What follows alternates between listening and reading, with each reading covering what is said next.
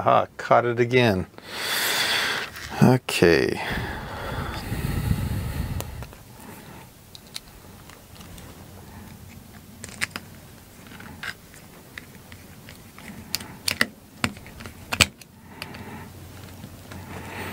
Okay.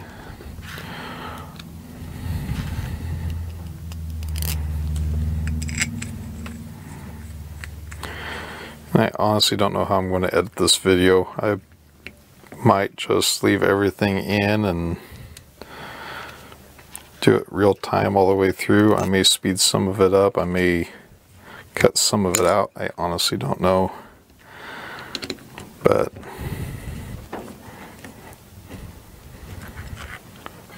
no, that doesn't look right.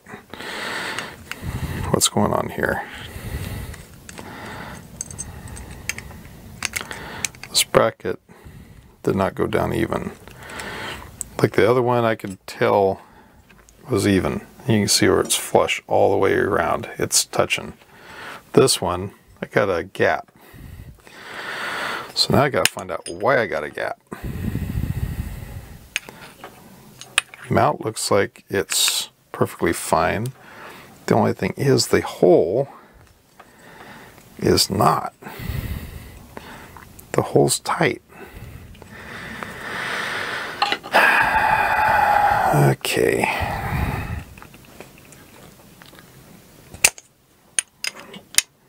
Let's see if I can just use some screwing action here to get it down.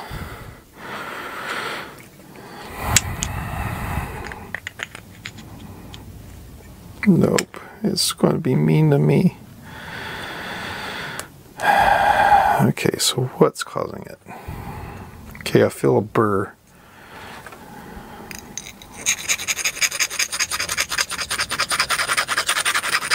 Let's use their little file thing that they sent us.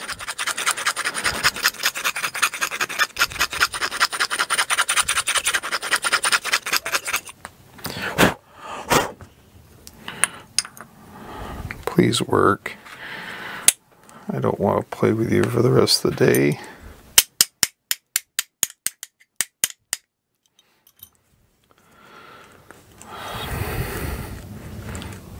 Yes. Uh, no. Still a little gap. Know, I'm going to cheat on this sucker a little bit. I'll do something to get the get to look better later on. That's good enough for me. Okay, back to it.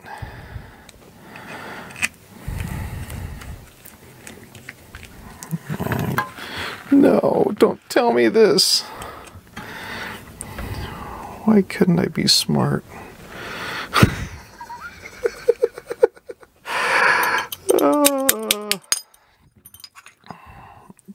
okay.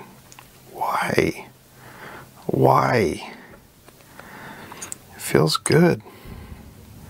I don't. I still feel burr right there and there.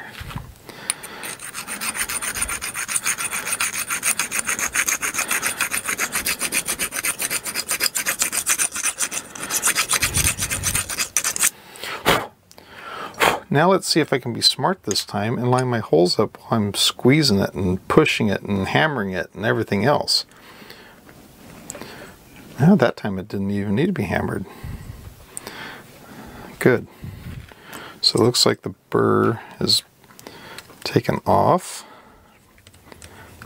And I'm still off a little bit.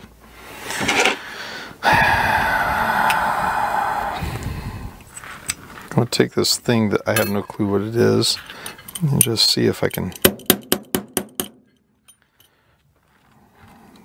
uh, see if that lined it up. Yes. Okay, so we got one screw going in.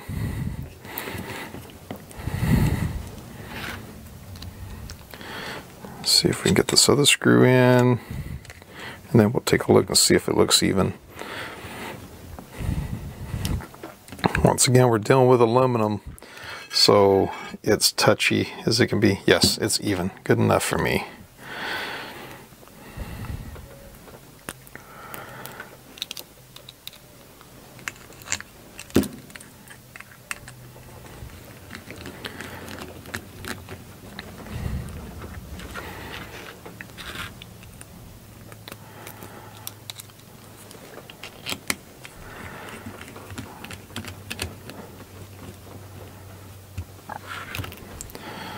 And you we're here,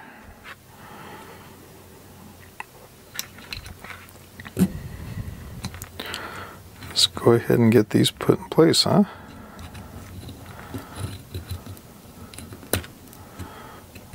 Okay, so why? Okay, I see why. Okay, so what we're going to do is we're going to take and push this down, and I'm just going to do it till it's just almost even with the bottom of the with that base. As you can see, hopefully, there we go. I'm just going to take it to right about there. Leave a little bit of a gap. And then we're going to take see if that's the right size. No, it's not. See if that's the right size. Yes, it is.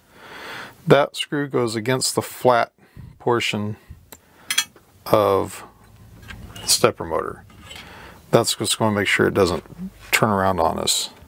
And it actually went down on me a little bit. Let me go ahead and get that back out.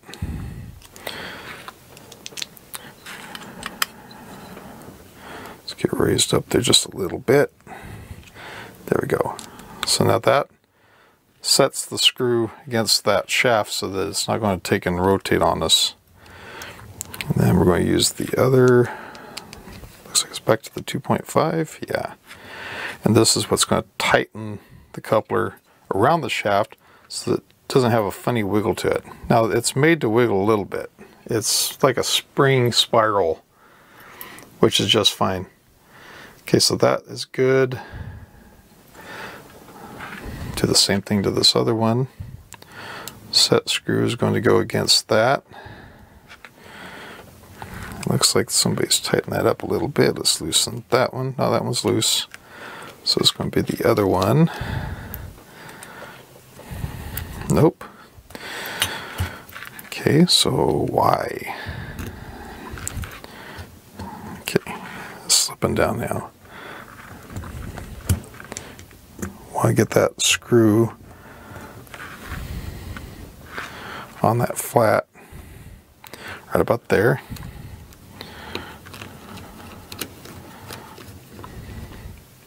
Okay, that's against the flat.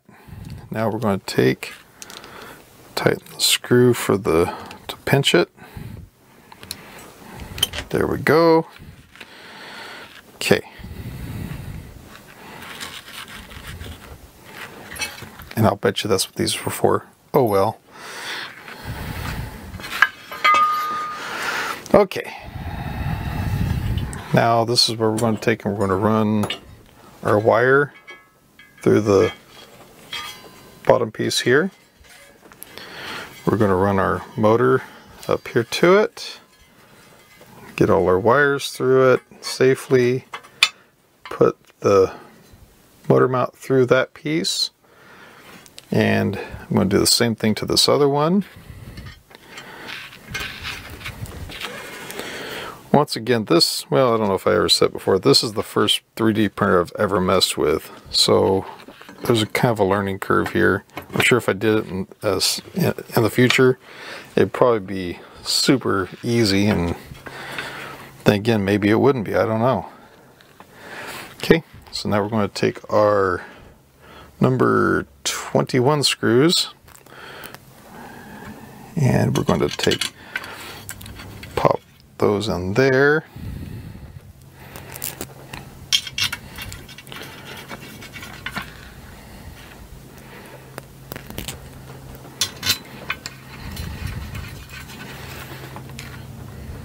Let's see, this seems like it's got a lot more a lot more threads going running into these plates.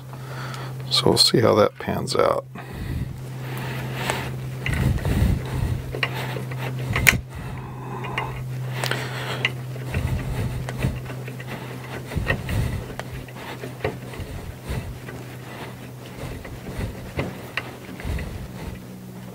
And that one's tight.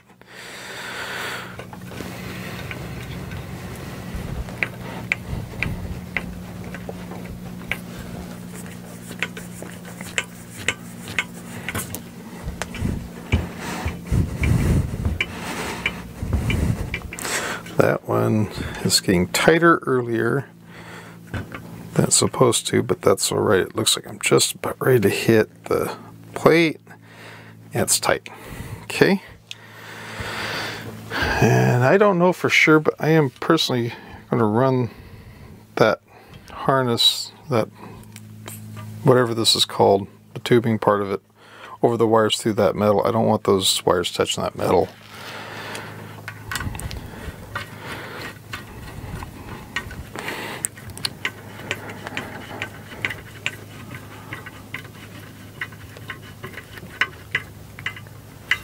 Okay, and that one's tight. And this is the reason why I wanted this frame over a um, acrylic frame. Aluminum is not brittle. It will not crack out when you tighten it up. And the way those other ones are set up, I just did not trust it. So I went and spent the extra, was it 50 bucks, 100 bucks maybe, depending on what auction you get on eBay just spent that little bit extra money and got the, the aluminum kit. Okay, so now we're going to separate our wires like that. Remember, this is your front. Your stepper motor is at the back. So now we're going to take and we're going to put through. And there is no way for me to really show you what's happening. But what's happening is I'm going to take, I'm going to open everything up here. This piece here is going to be in the front. This washer is going to be behind it. Same way on this other side. Okay, so now drop that into the groove in the base plate. See how I can do this to where it can be seen. And there's really no way. So what I'm going to do is I'm going to set it back down, get my screws, go over that real quick, and then we'll get that the rest of it sorted out here in a moment. Okay, so it looks like 21, number 21 screws. There we go. Need four of them, and we need four washers. So number 21, that's going to be the M3 by 16 millimeter screws. I have two washers from earlier. I'm going to pop two more out here. Now finally be rid of all the extra washers that they had me pull out. Okay. And when I can, I like to just put this washer up on the on the bolts so that it's all already set. Okay. Now the other thing that I'm wondering, I know the the way it's going to set up, the extruder is going to be about here.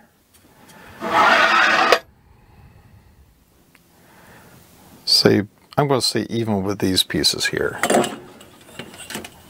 No, probably not. It's probably because it's going to be out in front of it. So it's going to be sitting right about there. That can't, that's what I've been wondering about. And what I'm going to do is I'm going to run these bolts back. I'm sure that's an adjustment I'll have to do later, but I'd like to get it as close as I can now.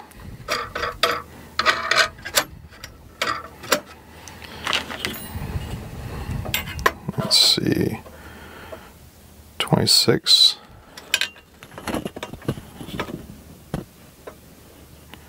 It's pretty close. Okay, so now what we're going to do is we're going to take these pieces here. That was another thing I really thought about. I really thought about putting those in first and then doing the belt and everything afterward, but I thought it was going to be a too much of a headache. So what I'm going to try doing I think you can kind of see what I'm doing right here on camera. I'm trying to take these screws, I'm going to try feeding them through into this frame. and bolt it up. And it's not going to let me do it like that. So I can't get my hand in there enough to do it. So what I'm going to have to do is I'm going to have to turn it over. So let's go ahead and pinch that. And I know you're not going to be able to see this, and I apologize for it. But what I'm doing is I'm putting the first screw in up here at the top, putting the second screw on the same bracket on this other hole, and the same thing on this bracket down here.